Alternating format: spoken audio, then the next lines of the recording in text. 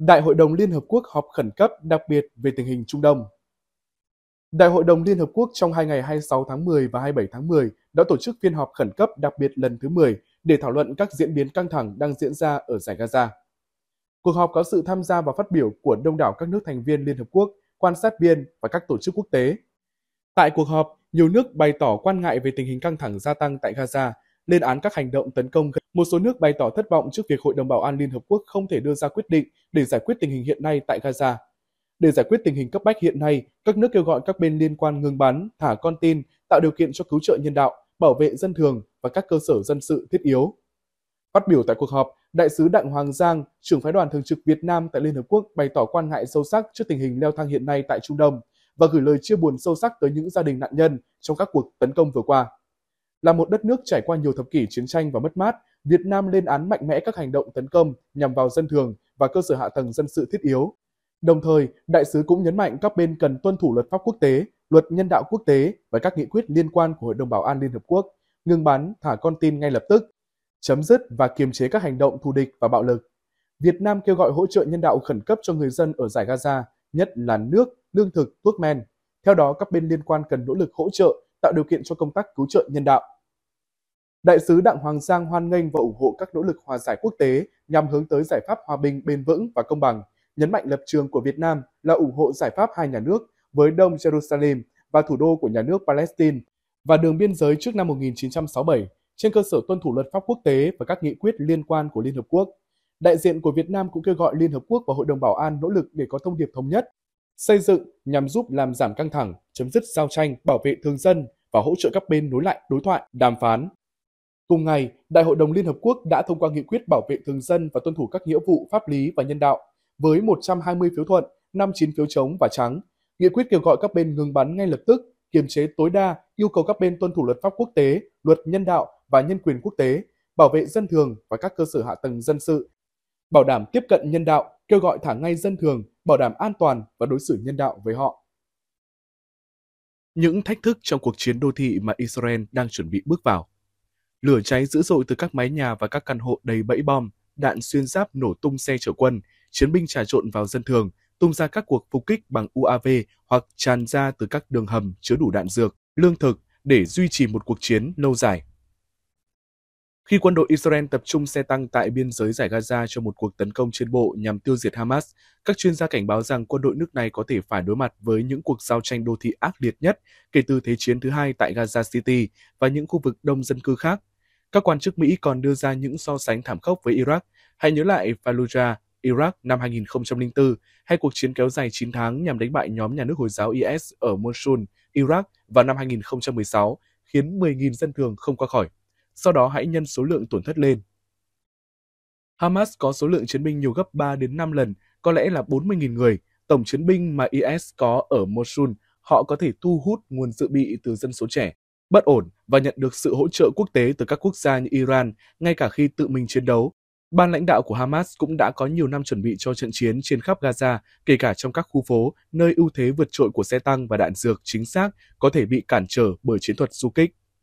Trung tá Thomas Arnold, chiến lược gia của quân đội Mỹ, người từng công bố các nghiên cứu về chiến tranh đô thị ở Trung Đông cho biết, mọi chuyện sẽ trở nên tồi tệ, các thành phố là sân chơi của quỷ, chúng khiến mọi thứ trở nên khó khăn hơn rất nhiều. Thủ tướng Israel Benjamin Netanyahu đã thề sẽ hủy diệt Hamas, nhưng Gaza, nơi được đô thị hóa mạnh mẽ với mạng lưới Hamas cố thủ sâu rộng là một chiến trường đặc biệt phức tạp. Theo tờ New York Times, soi chiếu từ lịch sử có ba yếu tố rất có thể sẽ định hình một cuộc chiến trên bộ ở các thành phố của Gaza, môi trường đô thị, sự tương tác giữa chiến binh và dân thường, và áp lực chính trị, dư luận. Cảnh quan, Giải Gaza rộng khoảng 360 km vuông, một giải hẹp với một cụm trung tâm dân cư đô thị. Thủ phủ Gaza City có khoảng 700.000 người tập trung trong khoảng hơn 50 km vuông, với nhiều tòa nhà cao tầng hơn những tòa nhà ở Mosul, tạo ra một mặt trận ba chiều nguy hiểm hơn. Nhiều cuộc tấn công đô thị từ thời Trung Cổ đến thời hiện đại đã bắt đầu với tốc độ nhanh chóng, để rồi sau đó xa lầy vào các khu vực có lợi cho quân phòng thủ. Mosul là một ví dụ điển hình, một vụ khác là cuộc bao vây Mariupol, Ukraine hồi năm ngoái vài nghìn binh sĩ Ukraine đã chấn giữ thành phố trong gần 3 tháng trước một lực lượng tiến công của Nga đồng gấp 5 đến 8 lần. Israel đã phá hủy hàng trăm tòa nhà ở Gaza trong các cuộc không kích. Nhưng Hamas lại xây dựng hàng trăm km đường hầm dưới thành phố có thể được sử dụng để di chuyển giữa các vị trí tấn công. che giấu con tin và bảo vệ nguồn cung cấp. Chưa kể những bất ngờ khác như xưởng tên lửa trong trường học, vũ khí cất giữ trong các nhà thờ Hồi giáo có thể sẽ xuất hiện. Dân thường hay chiến binh, chiến tranh đô thị có xu hướng làm mờ ranh giới đó hơn. Những con số đó không thể được xác minh độc lập, nhưng rủi ro đối với dân thường rõ ràng vẫn rất cao. Ngay cả khi Israel khuyến khích người dân ở thành phố Gaza di chuyển về phía nam đến các khu vực an toàn hơn, nhiều người vẫn ở lại. Israel đã nhấn mạnh rằng họ không nhắm mục tiêu vào dân thường, nhưng trong các trận chiến đô thị, người chỉ huy thường khai hỏa từ các công trình chứa cả chiến binh và các gia đình thường dân.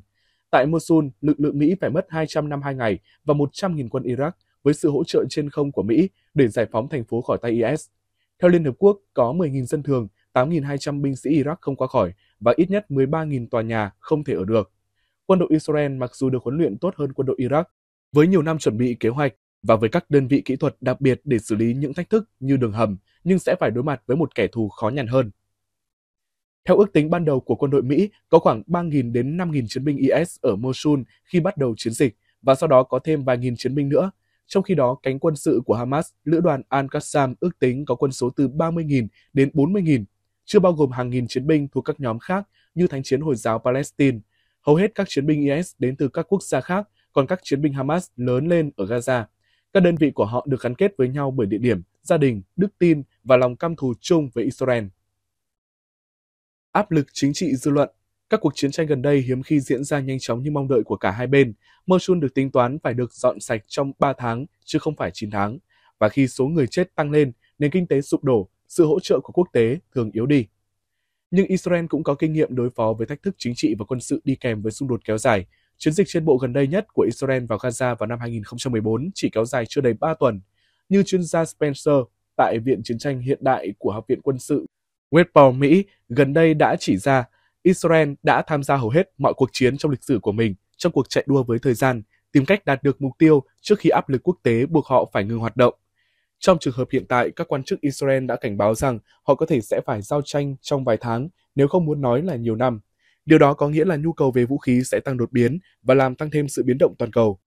Các quan chức Mỹ lo ngại về khả năng chiến tranh lan sang Liban và Iran, cùng với các cuộc tấn công có thể xảy ra nhằm vào quân đội Mỹ ở Iraq. Những lo ngại đó có thể ảnh hưởng đến cách Washington hỗ trợ cho Israel khi xung đột phát triển. Trong các cuộc chiến trước đây, công chúng Israel ủng hộ các hoạt động quân sự miễn là chúng cho thấy sự tiến bộ với bằng chứng về các kho vũ khí bị phá hủy và các kết quả hữu hình khác. Tuy nhiên hiện nay, các cuộc thăm dò cho thấy người Israel ít tin tưởng hơn vào chính phủ của họ dưới sự lãnh đạo gây chia rẽ của Netanyahu và sau thất bại của ông trong việc ngăn chặn cuộc tấn công gần đây. Định nghĩa về thành công lần này cũng rộng hơn và có thể khó đạt được hơn một phần vì Hamas đã phát triển mạnh mẽ hơn với sự giúp đỡ của Iran, tăng đáng kể kho dự trữ tên lửa và triển khai công nghệ mới như máy bay không người lái. Hamas và Israel đã tham gia vào một cuộc tranh giành sự đồng cảm gây ra các cuộc biểu tình giận dữ trên khắp thế giới và một lần nữa khiến Trung Đông trở thành điểm nóng, gây lo lắng cho quốc tế.